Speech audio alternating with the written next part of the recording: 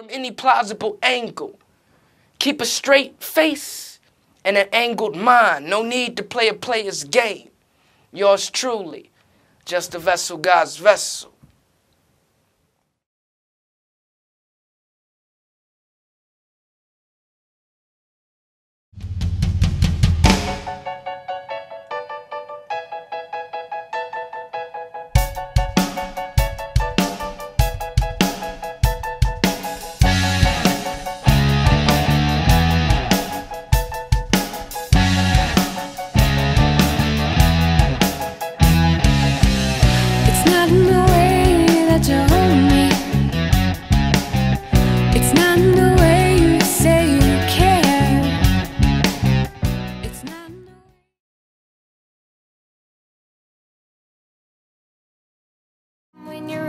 Gonna need 'em. Oh, oh, the sharp knife of a show.